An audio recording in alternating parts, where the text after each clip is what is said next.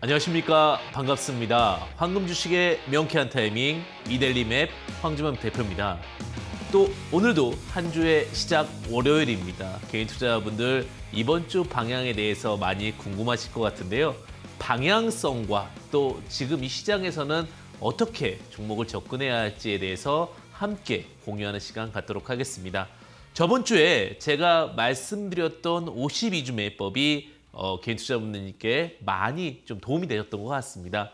많이 좀 좋았다라는 이야기를 많이 해주시는데 그래서 제가 오늘 2탄을 잠시 후에 준비했고요.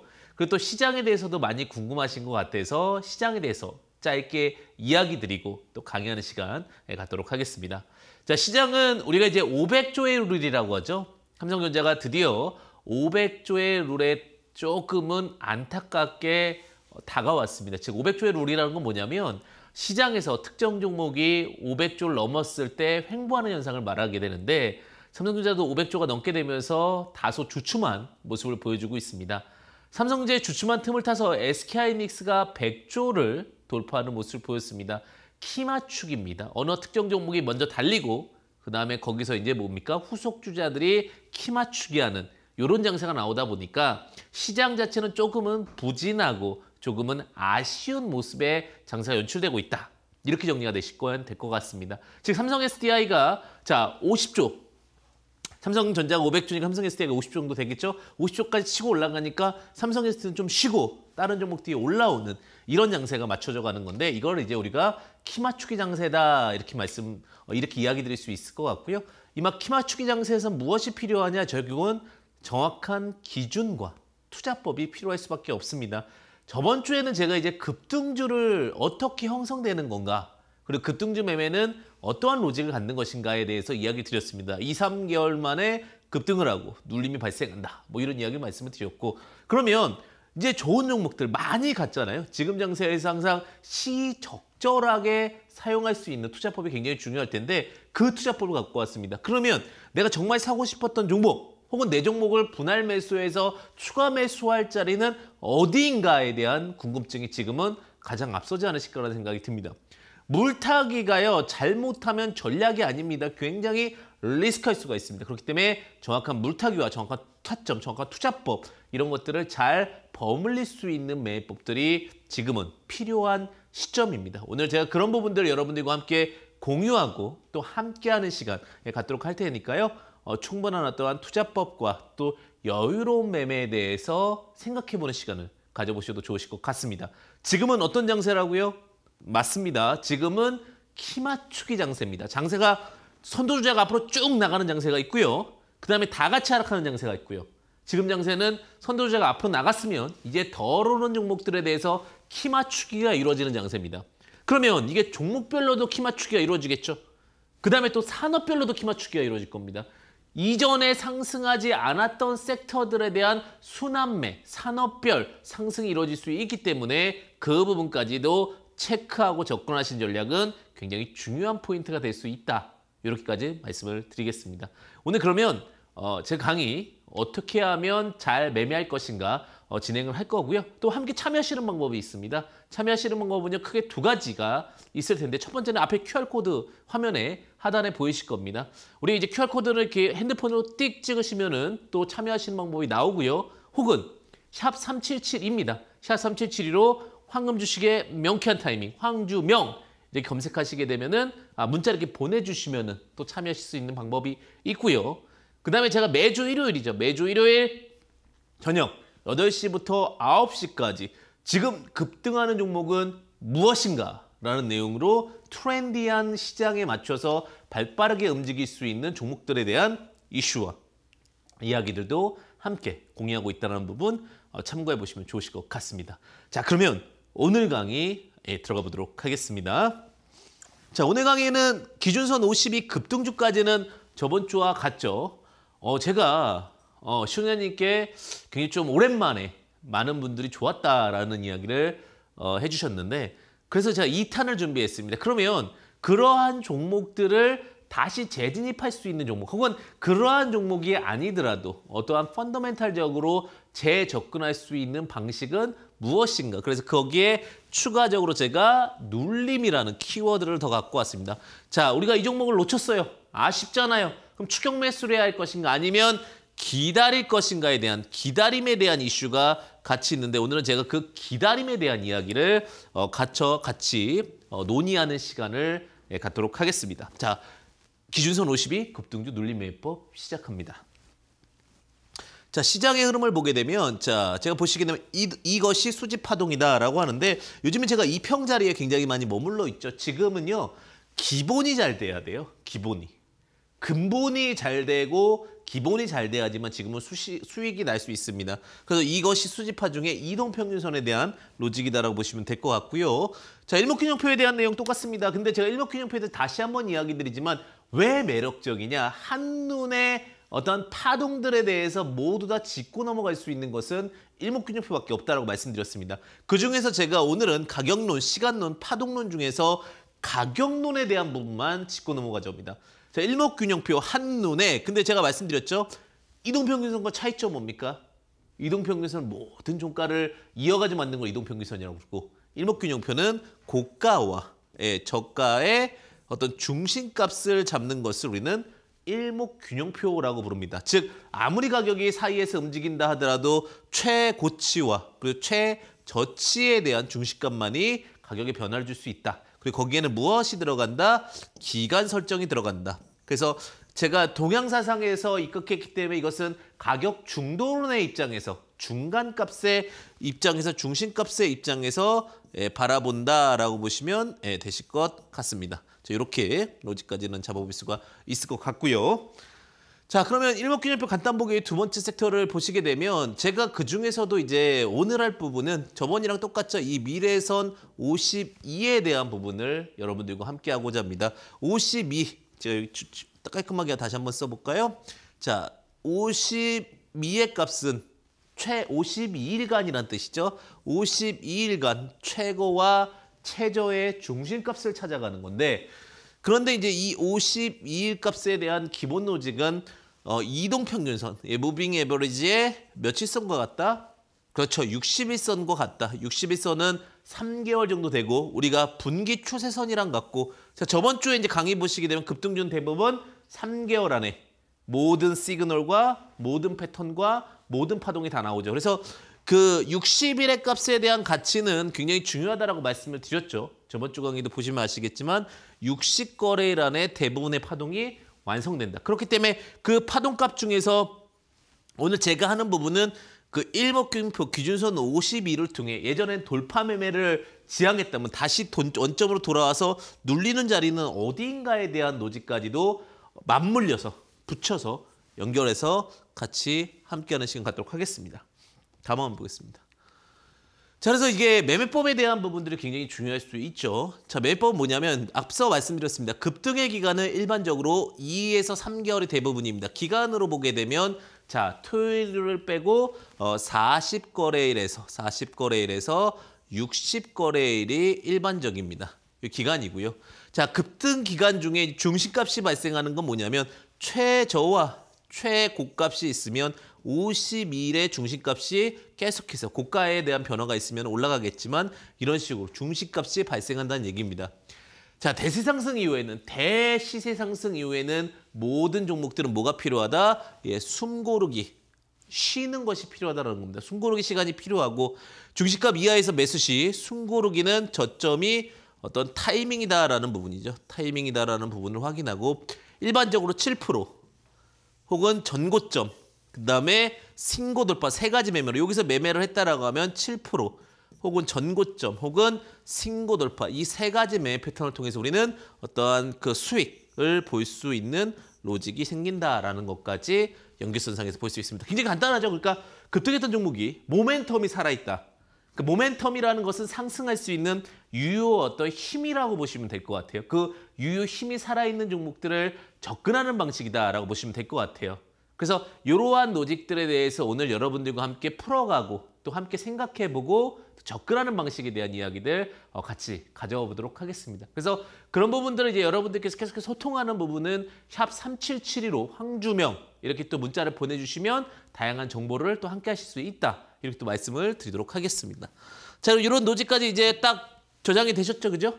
네, 딱 저장이 되셨으면 이 로직 굉장히 단순한 로직을 갖고 여러분들과 함께 매매 패턴에 대해서 같이 가보도록 하겠습니다. 자, 자 단알 이란 종목이죠. 단알이 참 재미있어요. 원래 이게 의미는 다 좋은 날이라는 의미였는데 예전에 하락을 많이 할 때는 다 이 종목에 주식하면 다 날린다. 이래서 다날이었대요. 근데 요즘 상승을 많이 하니까 이 종목을 사면 다 날라간다 해서 또 다날이 바뀌었다라고 하네요. 예, 저도 이제 누군가 이야기해서 이제 알게 된 또 이름의 behind story인데 자, 다날 같은 경우도 시세를 이렇게 분출을 하죠. 대량 거래와 함께 시세 분출을 하는데 참 이때는 어떻게 하고 싶냐면 이제 전자결제 관련주랑 그다음에 이게 상승했던 부분이 뭐냐면 비트코인이라든지 가상화폐가 있으면 그 가상화폐가 있고요. 다날이 만든 페이코인이 이 가상화폐를 어, 페이코인으로 바꿔서 전자결제를 할 수 있게끔 쉽게 말하면 결제를 할 수 있게끔 바꿨다라는 노직. 요 부분 때문에 이제 상승을 하게 되는 건데 제일 중요한 건 상승이 있고 예, 상승이 있고 상승 이후에 뭐가 나오는 겁니까? 눌림이 나오는 거죠. 자, 상승 이후에 눌림이 나오는데 여기서 이렇게 재차 이 눌렸죠? 눌리고 나서 재차 이렇게 반등이 나오는 반등까지 연결되는 흐름이 발생을 하는 겁니다. 근데 제가 그 중시 여기는 거 중시 여기는 것은 무엇이냐? 요 기준선에 대한 부분들이죠. 즉 시간이 지나 보니 이 종목은 시간이 지나 보니 어, 다시 중심값 기준선 50입니다. 그런데 제가 오늘 키포인트입니다. 이게 일봉이 아닙니다. 이제부터는 52주로 바꿉니다. 어? 이러니까 좀 아시겠죠? 자, 26인데 지금 제가 52 이거 주봉이라는 뜻을 표현했죠. 52 하니까 61선도 같지만 52주로 바뀌니까 어떤 거예요? 1년의 평균치로 바뀌죠. 일본 기준도 그렇지만 주봉 기준. 자, 보시게 되면 기준선 52의 값을 가지고 자, 지금 52 주로 바꾸니까 1년 값이 되는 겁니다. 1년의 평균치의 중심값을 잡으라는 얘기예요. 그러니까 단알 같은 경우도 결국 시세를 많이 준 것 같지만 1년 평균치의 중심값을 가지고 매매를 했으면 딱 최저점을 잡는 거죠. 좋은 종목은 주봉상 기준선 52값에서 잡으면 크게 일릴 일이 없다. 즉 1년의 중심값 정도에서 잡으라는 얘기예요. 내용이 있고 모멘텀이 있고 펀더멘털이 있는데 종목이 안 갔다고 하면 어떡하라고요? 기준선 52의 값에서 매수하시라는 겁니다.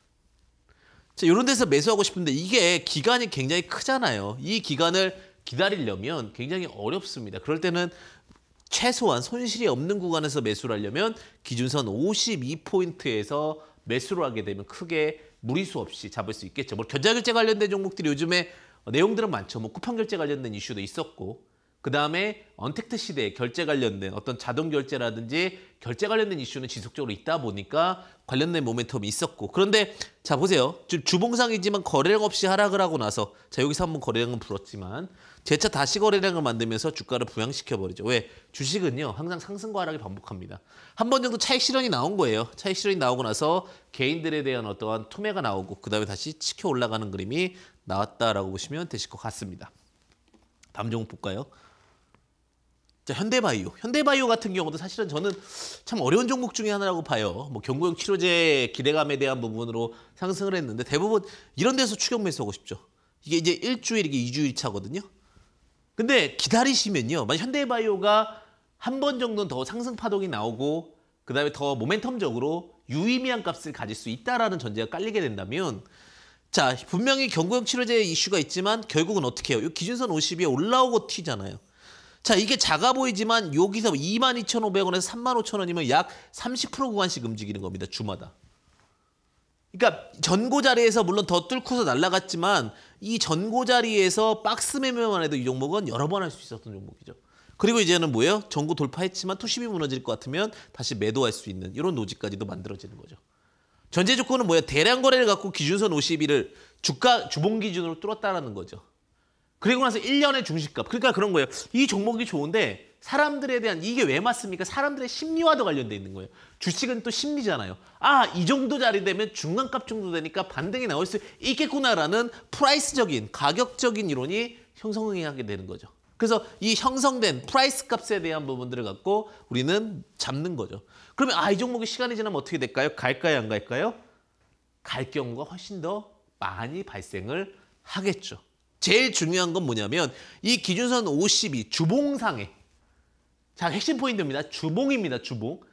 일봉상에도 마찬가지로 쓰겠지만 이번에는 주봉 52죠. 급등 이후에 거래량 대량 거래 이후에 눌림 자리에서 fundamental적인 부분들을 어, 잡고 접근하는 전략이 어, 반드시 필요하다는 얘기입니다.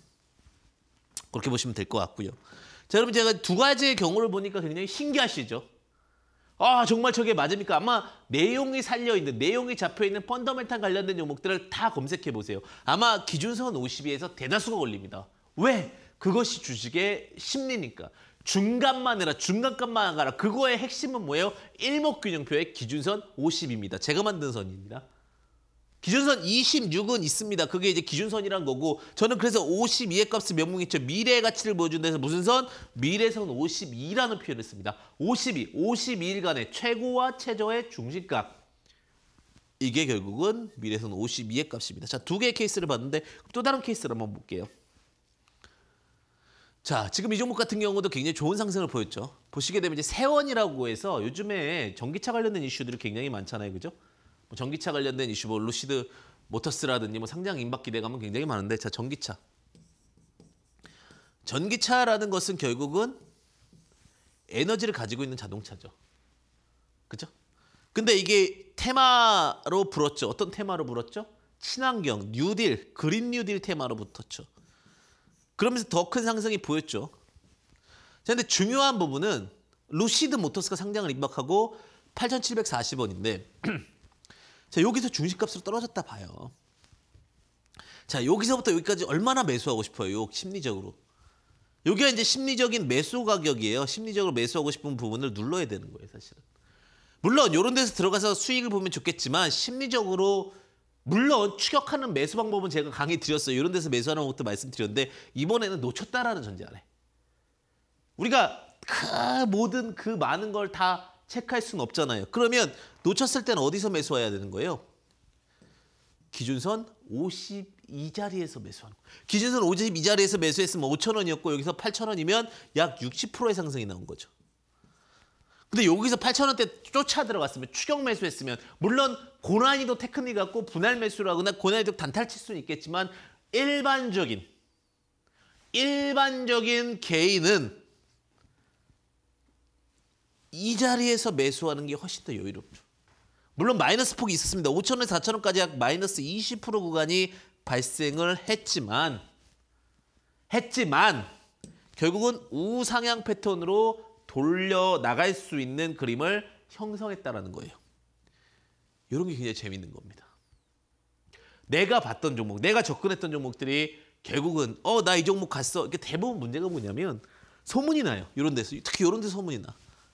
근데 갈 수 있는 종목이면 상관이 없는데 이거는 지금 전제 조건은 뭐예요? 근데 무조건 이렇게 반등 나오는 게 아니라 오히려 이런 전제 조건은 3배, 10배 이상 안 간 종목에서 나옵니다. 힘을 다 분출하지 못한 종목. 제가 말씀드렸죠. 저번 강의 때 텐베거 10배 갈 종목은 ten bagger라고 그랬는데 ten bagger 간 종목은 모든 화력을 다 쏜 거예요. 그거 말고 화력을 쏘다가 잠시 이제 주유, 주유하는 공간. 에너지를 모으는 공간, 잠시 에너지를 모으는 공간에서 우리는 어, 매수 포인트를 잡자. 라는 부분이 이 투자 포인트의 핵심입니다. 그래서 만약 세원이라는 종목도 마찬가지로 전기차 모멘텀이 있었다면 놓쳤으면 놓쳤으면 어, 접근해야 될 부분들은 분명히 있었다라는 거죠.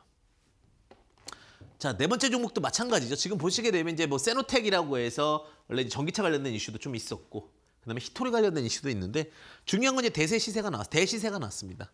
근데 중요한 건 여기서 중요한 건 두 번 썼네요. 그죠? 중요한 건 10배 이상 갔느냐, 3배 이상 갔느냐 큰 수익이 안 났어요. 그러면 이 종목이 어떻게 되는 거예요? 어디서 만약에 이 종목을 접근하고 수익을 내고 싶고 투자 포인트를 보냐면 이렇게 올라갔다가 올라갔다가 이 자리를 보고 있다가 만약 여기서 이제 더 좋은 건 이런 데서 들어가서 바로 수익 나는 거지만 그 자리가 안 된다 하더라도 매주 어떤 박스피 박스권 10%에서 20%씩 박스권을 만들면서 단타할 수 있게끔 만들어주죠. 그 자리가 뭐의 값이에요? 52주 값이에요. 52주.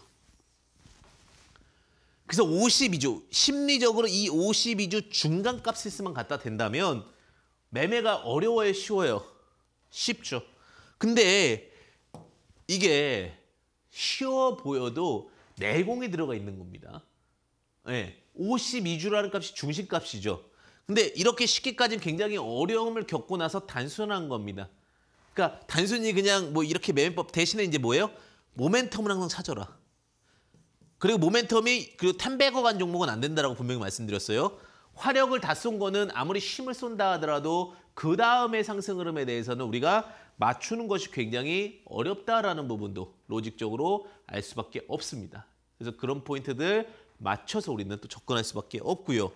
자, 그래서 이러한 단타들이 계속해서 이루어지는 공간들이 다 모셨다 미래선이다. 즉 기준선 50, 아, 미래선이죠. 미래선 기준선 52의 값과 어, 일맥상통한다. 이렇게 보시면 될 것 같죠.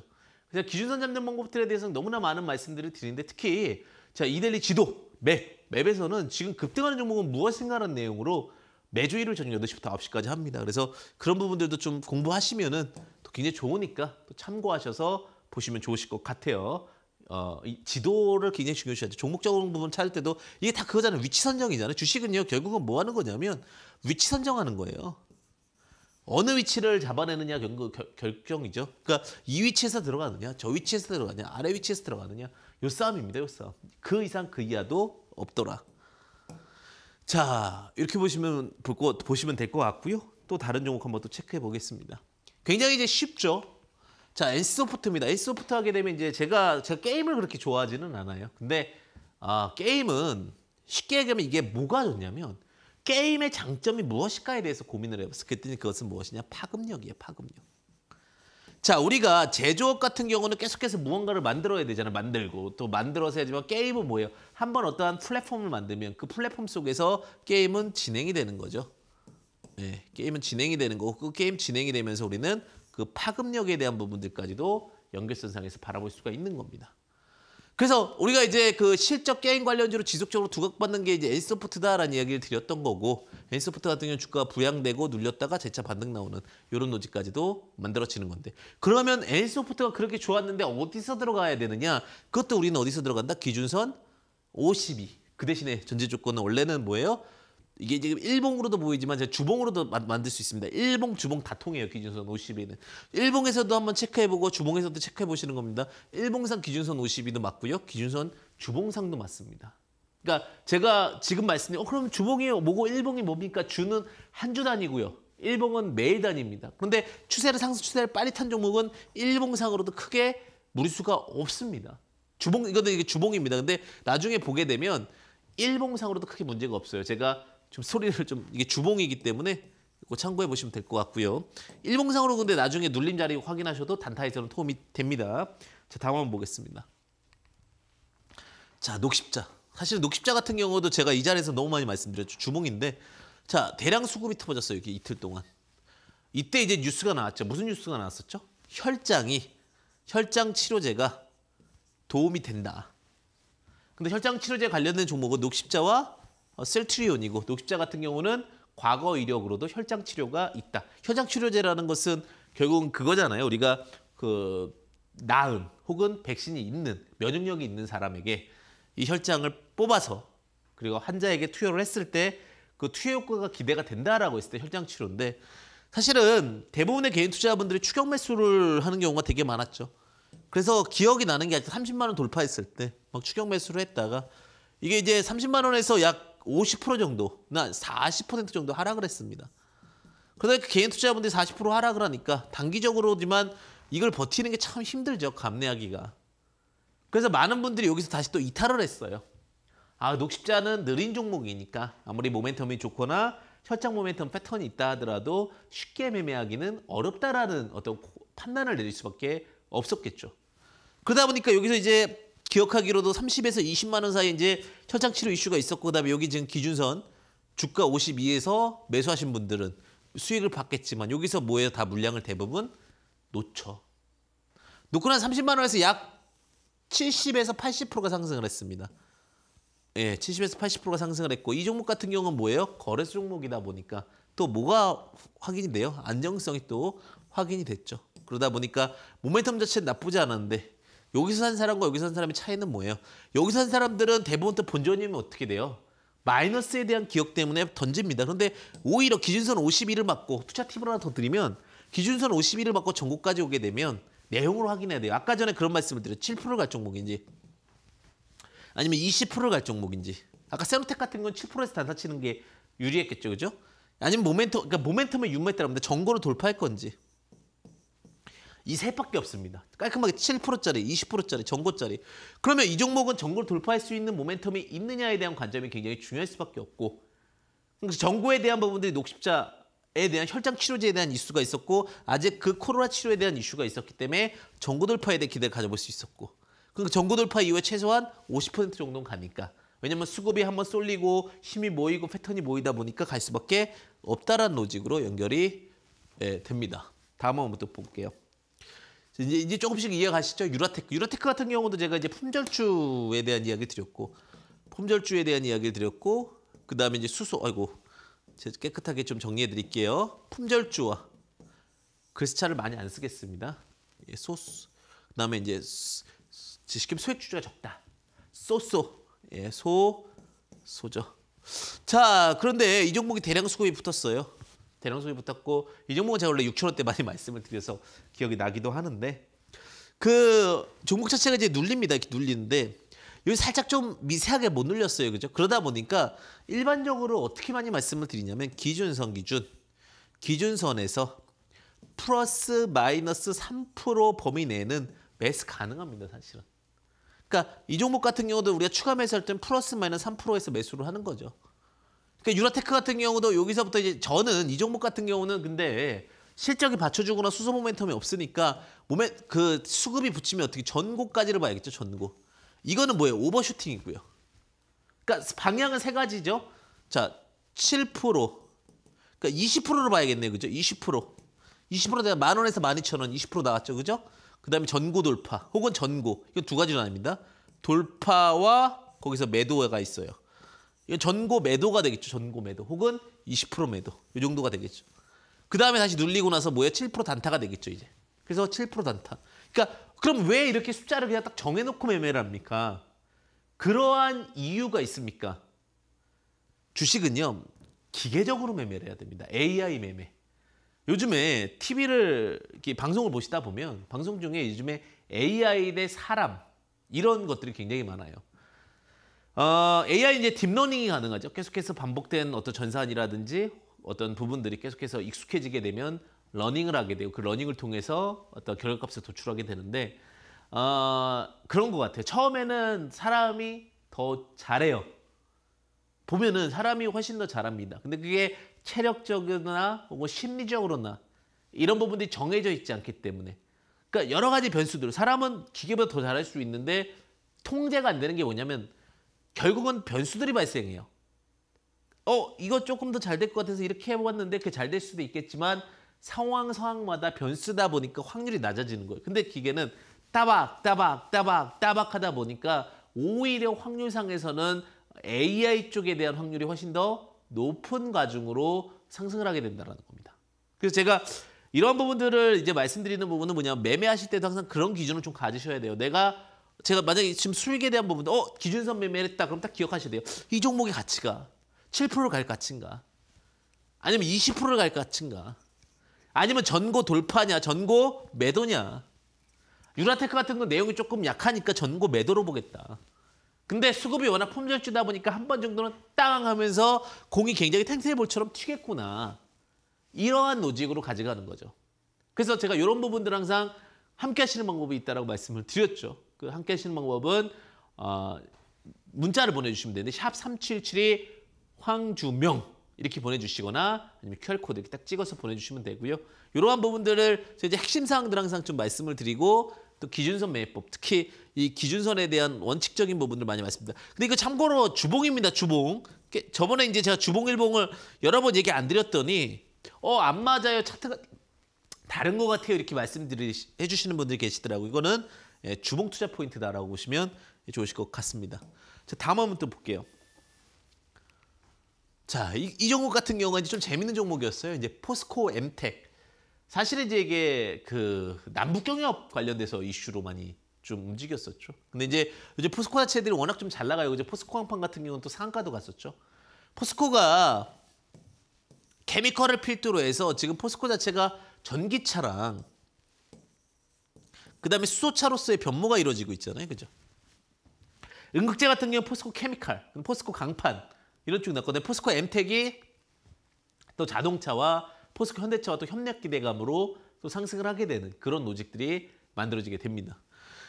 자, 오랜 기간 동안 이제 기준선 52에 때는 원래 제가 급등주 매매할 때도 마찬가지지만 여기는 뭐냐면 어, 이렇게 표현하면 좀 좋을 것 같아요. 어떤 수면 아래 있는 종목이에요. 수면 아래 있는 종목.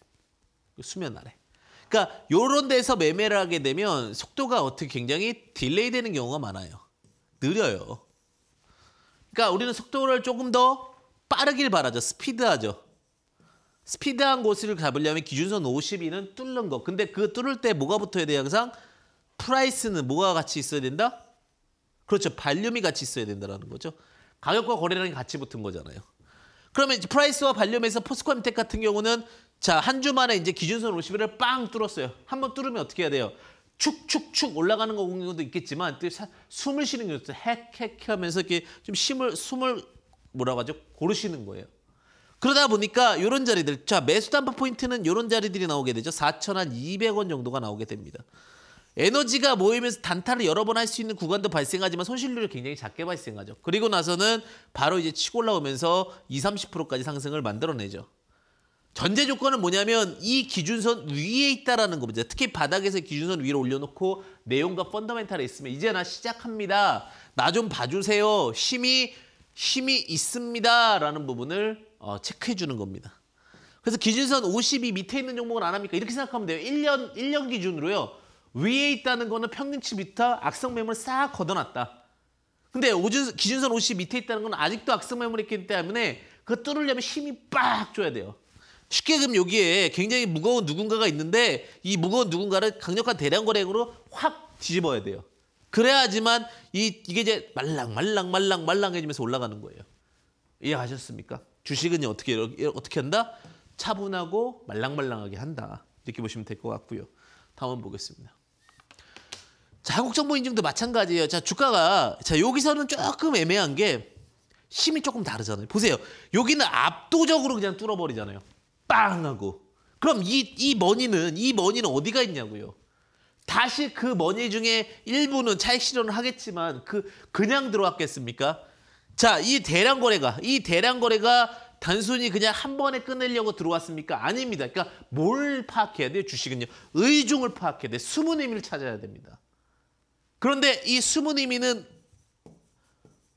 이 눌림에서 발생을 하죠. 자, 그러다 보니까 툭툭, 툭툭, 툭툭 올라오죠. 자, 지금 5천원에서 6천원에서 8천원이면 30%씩 툭툭툭 20, 30%씩 움직이는 거예요. 요 박스권 매매만 해도 근데 아까 전에 제가 말씀드렸죠. 기억하시나요? 매매 포인트는 1번 7% 수익을 내겠다. 2번 20% 수익을 내겠다. 3번 전고를 하는데 전고는 크게 두 가지죠. 돌파를 할 거라 예상하는데 돌파 자리에서 매도하겠다. 자, 그럼 이건 어떻게 해야 돼요? 자, 반반일 수 있겠죠. 한국정보인증 내용이 좋으면 아, 정고라는 것이 이 정도 자리인데 한 20% 정도 수익을 한번 내고 정고 돌파를 한번 기다려보겠다로 갈 수도 있겠죠. 종목 자체가 신용비율이 좀 급하게 올라와 있는 케이스가 있다 보니까. 그러니까 경우의 수를 수익을 굉장히 따다다닥 연결선상에서 구분해 놓으면은 매매 자체가 굉장히 단조로워지면서도 여유로워질 수가 있는 겁니다. 제가 그래서 주식 매매함에 있어서는 항상 원칙을 지키라고 말씀을 드리는데 그러면 이런 자리들, 이런 자리와 이런 자리의 차이점은 무엇입니까? 자, 이런 자리는 높잖아요. 높고 내용 펀더멘탈이 좀 약했고 자, 그리고 이 상승 추세에서 충분한 뭐예요? 조정 기간은 1년. 그다음에 1년 6개월 정도의 조정 기간을 거치고 뚫었기 때문에 이거는 뭐예요? 1년 6개월 이후에 뚫은 건 뭐예요? 나 매물 소화 과정 다 됐으니까 예, 지켜봐 주세요라고 예, 포인트가 나온 겁니다. 지켜보세요라는 포인트가 나온 거예요. 그렇기 때문에 매매상에서 어떻게 되는 거예요? 수익 보시기가 쉬운 거죠. 그럼 이런 자리에서 시가총액에서 이런 자리와 이런 자리에서 잃을 자리가 아니라는 거죠. 주식은 우리가 이제 조금 제 말이 와닿으실 거예요. 늘 벌 거라고 생각하잖아요. 번다라는 개념밖에 없잖아요. 근데 잃는다라는 개념 우리가 생각하지 않아요. 우리는 신기하게 다 벌 거라고만 생각해요. 근데 제가 볼 때는 번다 1에 잃는다 9예요. 그러면 이 1이 들어가기 위해서는 결국은 이런 체계적인 학습과 체계적인 투자법들이 일맥상통하게 딱 연결이 돼야지만 매매에 대해서 어떻게 됩니까? 수익이 극대화되는 겁니다. 제가 전자결제 관련된 종목들도 물론 테마도 중요하지만 이 수급, 2주 이상의 대량 수급이 있었기 때문에 어, 흐름에 대한 부분을 놓치지 않고 패턴 을 찾을 수가 있다고 프라이스와 뭘 찾아라? 발륨, 가격과 거래량에 대한 로직을 계속해서 찾으면서 접근하신 것이 결국 주식 투자법이다. 이렇게 말씀을 드릴 수 있을 것 같고요. 자, 지금 사례를 계속해서 보고 있습니다. 사례가 굉장히 좋은 종목. 대신에 전제 조건은 뭐예요? 모두 다 한 번 더 튈 수 있는 이유가 있어야 된다. 근거. 근거가 있어야 된다는 겁니다. 이 근거가 없으면 매매를 할 수가 없습니다. 자, 보겠습니다. 자, 삼성전자. 자, 이제 그 많은 분들이 이제 두 가지 섹터로 좀 이제 이야기 드리고자 하는데 조심스러운 얘기예요, 사실은. 조심스러운 얘기인데 이걸 어떻게 풀어갈까 저도 고민을 좀 많이 했어요. 아, 잘 가면 좋습니다. 항상 저는 주시장은 응원하는 입장인데 지금 제가 말씀드렸죠. 시장이 빠진다가 아니라 지금은 희맞추기장이에요. 그러면 삼성전자는 지금 500조의 규모의 시장에 들어와 있습니다.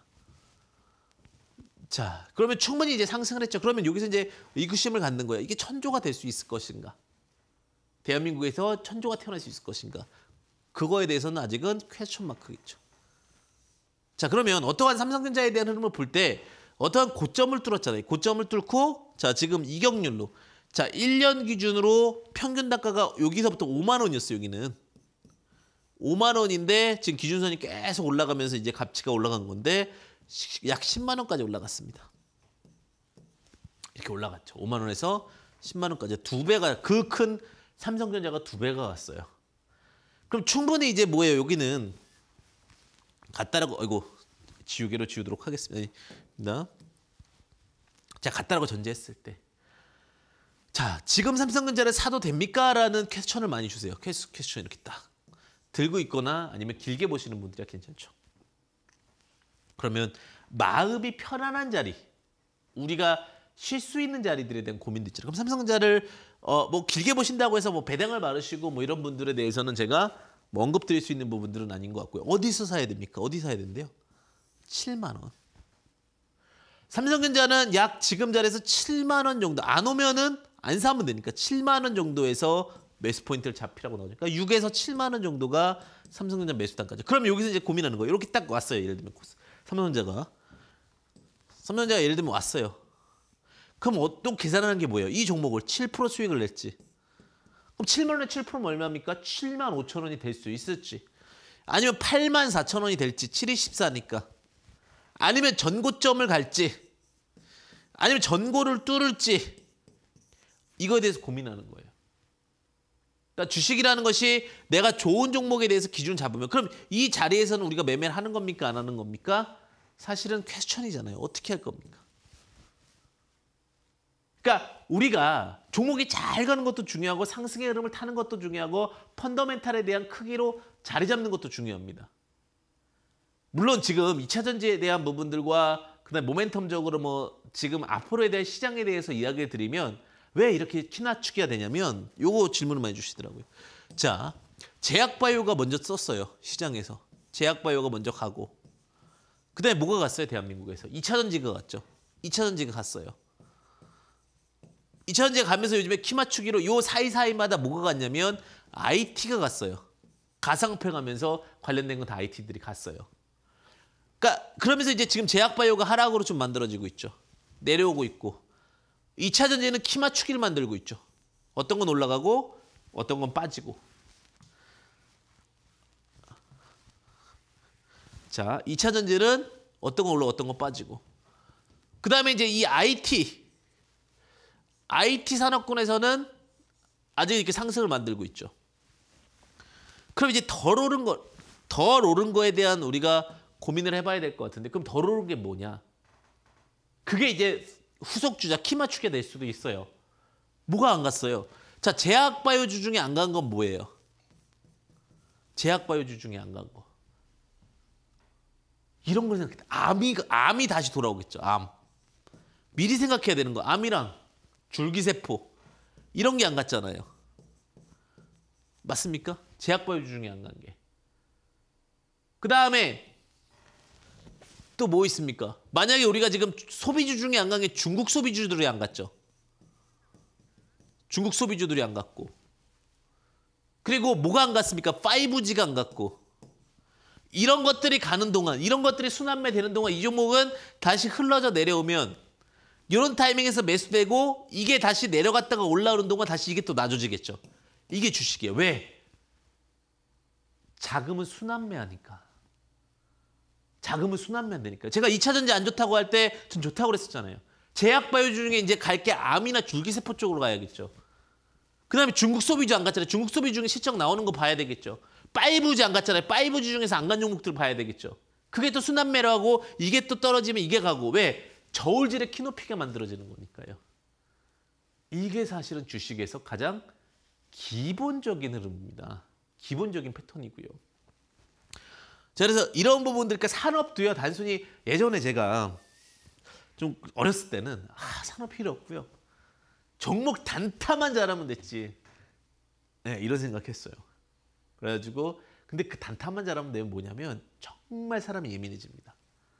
이 전체적인 그림을 보고 이렇게 딱 보고 이렇게 넓게 보고 있으면 예민해지지 않은데, 그냥 과정, 과정, 과정마다 보면은 이게 텅텅텅 예민해져. 그러니까 점점 더 사람이 여유로워지는 건 뭐냐면 많이 알고 멀리서 이렇게 볼 때. 그때가 얘 편해진다. 이렇게 보시면 될 것 같고요. 자, 일단은 삼성전자까지 이야기를 좀 드렸고 그 다음에 제가 항상 말씀드리죠. 뭐 저랑 함께 하시는 방법들에 대해서는 뭐 이런 산업적인 사이클도 굉장히 사실은 중요해요. 산업 사이클을 이해해야 주식으로 수익을 볼 수가 있습니다. 자, 황금 주식의 명쾌한 타임이라고 말씀드렸는데 오늘 명쾌한 타임은 기준선 50이죠. 예, 기준선 50인데 주봉상에서 기준선 50이고요.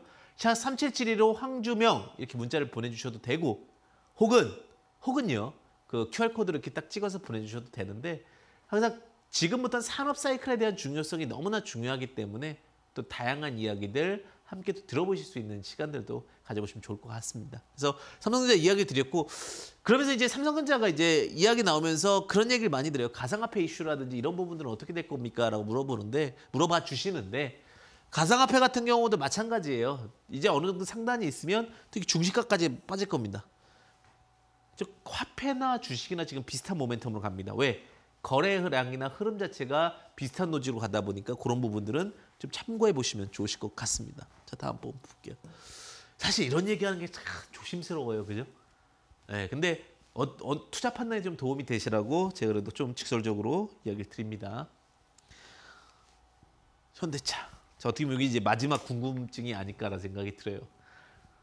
아, 저는 그래요. 현대차에 대한 부분들도 충분히 이제 올라왔잖아요. 그죠? 현대차 같은 경우도. 현대기아차 대한민국에서 이제 자동차가 굉장히 많이 약진을 보이죠. 근데 이제 그게 뭐냐면 사이클의 변화입니다. 삼성전자가 올라갔던 이유를 잘 생각해 보면 삼성전자가 물론 기본적인 사업에 대한 부분도 있었지만 스마트폰의 혁신을 잘 따라갔고요. 일단 애플이 스마트폰을 바꿨을 때 같이 삼성전자가 스마트폰을 바꿨잖아요. 그리고 그 코끼리 그 쉽게 얘기하면은 그 일본 일본 쪽 전자제품들을 또 한국에서 잘 따라갔잖아요. 현대차 같은 경우도 마찬가지예요. 자동차를 맨 처음에는 어떠한 그 카피하는 수준에서 지금은 독창적인 수준으로 들어오게 되는데 지금 현대차 모멘텀이랑 같이 붙는 게 이제 포스코 모멘텀이죠. 그죠? 포스코 수소차 전기차. 근데 카파가 커진다는 게 굉장히 무서운 게 지금 전기차가 굉장히 커지고 있죠. 전기차 자체가. 그리고 수소차가 커지고 있죠. 그러면 이걸 담을 수 있는 그릇이 누구냐? 결국은 다양한 부품들을 만들고 그 부품들이 같이 어울려지는 곳은 요 현대차죠. 그러다 보니까 이 모멘텀과 함께 현대차에 대한 기대감도 충분히 올라왔죠. 그러다 보니 뭐 30만 원, 뭐 40만 원, 뭐 50만 원, 뭐 이렇게 목표치, 기대 목표치들이 굉장히 상승을 합니다. 그런데 현대차 같은 경우도 잘 보시게 되면 지금 빠르게 올라왔습니다. 일전에는 자 기준선 50일을 붙여서 움직였어요. 현대차 같은 경우 굉장히 어, 좀 보수적인 종목 중에 하나였습니다. 여러 가지 사건 사고들이 있으니까. 근데 이번에 이제 지수부의 어떠한 견인차와 함께 지수의 상승과 함께 결국 주가가 올라갔어요. 그래서 이제 가장 많이 문의 주시는 게 뭐냐면 현대차가 없습니다. 언제 사야 됩니까? 지금 사면은 저점이지 않겠습니까? 주식에서 제가 이제 거래소 종목이 오히려 작은 종목은 다른데 거래소 종목은 7년까지도 걸립니다. 잘못해서 그 어떠한 하방을 맞게 되면 왜 시총 자체가 몇 조 단위로 움직이기 때문에 작은 종목들이야 뭐 1년 혹은 2년, 3년이면 웬만하면 다시 되도드리피로 다 올라와요. 근데 시총이 작은 종목들 같은 경우는 낮은 흐름을 보이게 되는데요. 자, 주가 상승을 보시게 되면 현대차 같은 경우도 주가가 빠지겠죠. 그러면 현대차도 만약에 지금 매수를 해야 됩니까라고 했을 때 저는 18만 원 이하라고 봐요. 아, 들고 계신 분들한테 어떠한 접근성에 대한 이야기를 드리는 게 아니라 없으신 분들한테 대한 접근성이에요. 그럼 이 18만 원에 대한 로직, 18만 원 혹은 요 중간값이었던 10만 5천 원, 여기 간격이 좀 크네요. 여기서 급등을 했었죠. 18만 원에서 뭐 12, 12만 원이면은 뭐 한 15만 원, 18에서 15만 원 정도에서 분할 매수가 되겠죠. 그 다음에 이제 생각하는 거예요. 내가 만약에 18만 원에 매수했다면 자, 이거를 7%를 볼 것인가? 혹은 20%를 볼 것인가? 혹은 전고로 돌파할 것인가? 혹은 전고에서 부딪힐 것인가? 돌파할 것인가에 대한 고민이 있어야 되는 거죠. 그 과정 속에서 봐야 되는데 그러다 보니까 우리가 또 하나 볼 수 있는 게 뭐예요? 만약에 이 폭이 커야 이 폭이 커야 수익률도 올라간다는 거죠. 그러니까 급등했던 종목들이 다시 내려왔을 때 급등했던 종목들이 다시 내려왔을 때 재파동이 크다라는 거는 무엇 때문에 그러는 거예요? 그 폭의 크기가 크기 때문에 다시 한번 기대해 볼 수 있는 기대값이 크다라는 겁니다. 기대값이. 그래서 그 기대값을 갖고 주가에 대해서 상승과 하락을 예, 볼 수가 있는 겁니다. 그러면 자동차도 마찬가지. 현대차가 지금 이렇게 갔으면 또 뭐가 될까요? 지금 현대차 쪽에서 키 맞추기가 이루어지고 있잖아요.